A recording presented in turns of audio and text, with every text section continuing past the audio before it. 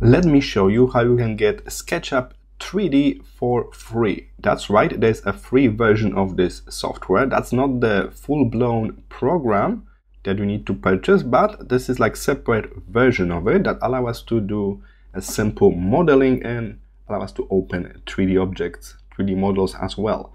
So after you search in Google SketchUp, you will see the website here at the very top, but they are already giving us some sub pages. And for us, we're going to use SketchUp for web. So click on that. It should take you directly here. And many people are spooked by this pricing thing. We can just click start modeling and use it with the free account. It's perfect for students or people just starting with 3D graphics. After that, it will ask you to log in or create a free account. In my case, I already got my account, so I can just click here, create new. And here I am, I got this simplified web version of SketchUp and it runs directly in the browser. So no installation needed. You can even use on something like Chromebook.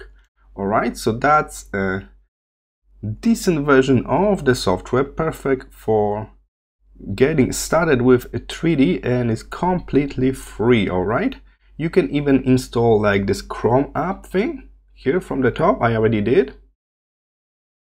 So here it is, we're working with the separate window, so it's we don't have this ugly address bar at the very top from the browser, so it's a little bit better. And as I mentioned, no installation needed. It's a proper SketchUp experience, we got this left side with all of the necessary tools. More tools are hidden here. And then on the right side, we got those additional panels with textures, with 3D Warehouse, and we can turn on, switch off shadows if you prefer those more lightning effects. All of this stuff is here, all right?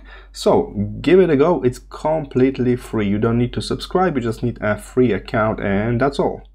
I hope this was helpful. See you in the next one.